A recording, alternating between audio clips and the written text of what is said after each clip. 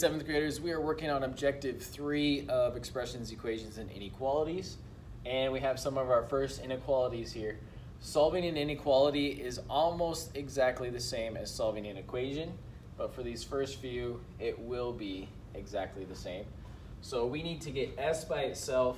We get rid of the term that does not have the letter or the variable first. So we get rid of that one. It's a positive one.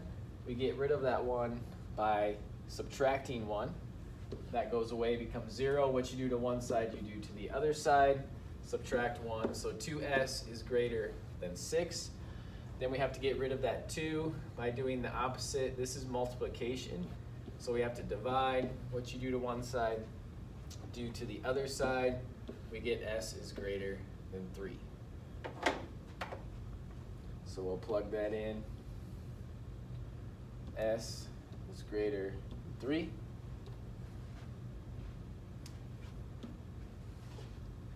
Good. Okay, another one here. we need to get j by itself. We need to get rid of that 1. We'll do the opposite of adding 1. We'll subtract 1. That goes away. What you do to one side, do to the other side. Now 3j is less than or equal to 9. Then we need to get rid of that 3 by doing the opposite, dividing.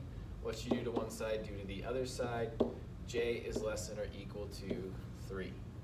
9 divided by 3 is 3. So j.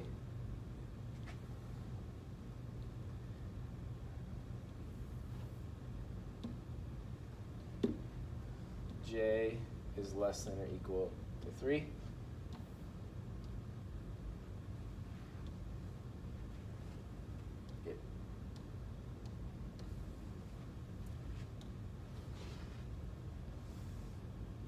Okay, more inequalities over here. We need to get x by itself. So we are going to get rid of the term that doesn't have an x. So we'll get rid of the 8 first.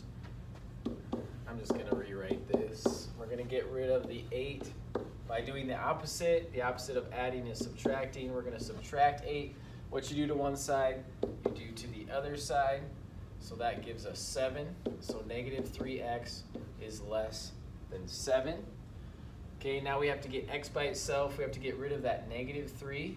We're not just going to divide by 3. We need to divide by negative 3 because we don't want a negative x. We want just a positive x. So we include the negative with it. What we do to one side, we do to the other side. We get x and then 7 over negative 3, or negative 7 thirds. When you divide both sides by a negative, remember that inequality flips around, so it actually becomes x is greater than negative 7 thirds. So over here we have x is greater than negative 7 thirds. And we can leave it improper like that. We don't, you could make it a mixed number, you could make it a decimal, depending on what the decimal is, or you can just leave it as improper like that. Okay? All right, our next one, 4x minus 1 is less than 11. We want to get x by itself. We want to get rid of that negative 1 by adding 1. What you do to one side, you do to the other side. So 4x is less than 12. Divide by 4, divide by 4. x is less than 3. So x is less than 3. Good.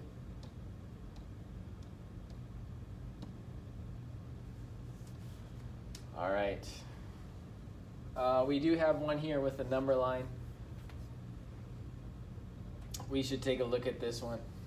All right, we need to get a by itself. We're going to do the opposite here. Get rid of the 18, which doesn't have the variable a. So we're going to subtract 18. What you do to one side, you do to the other side. So negative 27 and negative 18, they are like because they're both negative. So we're actually going to add those, which gives us 45, a negative 45. So 5a is less than negative 45. Then we're going to get rid of that 5 by doing the opposite, dividing.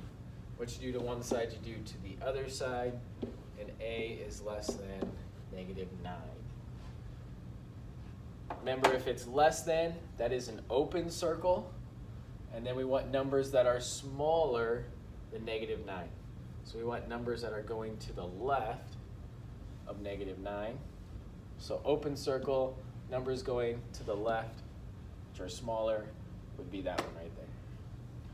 All right, that's all the examples. Good luck on your practice.